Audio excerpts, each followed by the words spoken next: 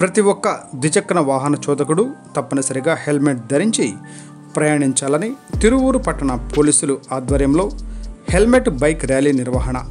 Helmet bike ర్యాలీని జెండా ఊపి ప్రారంభించిన ఏసీబీ మానగాని రమేష్.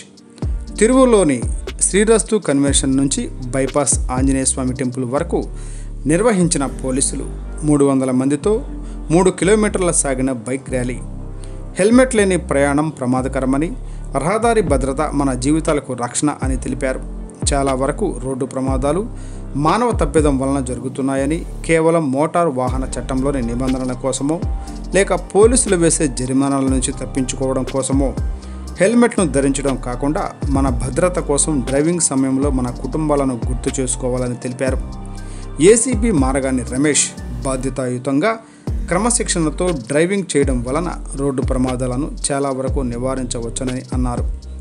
తప్పనిసరిగా ద్విచక్ర వాహనాలు నడిపే సమయంలో హెల్మెట్ ధరించి విలువైన ప్రాణాలను కాపాడుకోవాలని తిరువూరు సిఐ రుద్రరాజు భీమరాజు కోరారు. ఈ కార్యక్రమంలో మైలవరం తిరువూరు డివిజన్కి చెందిన ఎస్ఐలు ఏఎస్ఐలు కానిస్టేబుళ్ళు మహిళా పోలీసులు కాలేజీ విద్యార్థిని విద్యార్థులు తదితరులు పాల్గొన్నారు.